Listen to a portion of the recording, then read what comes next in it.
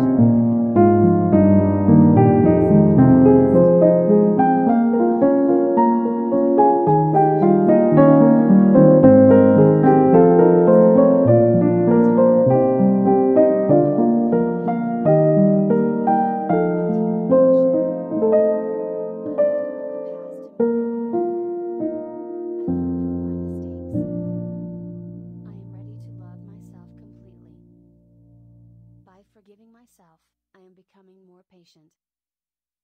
I am choosing to treat myself with respect and kindness.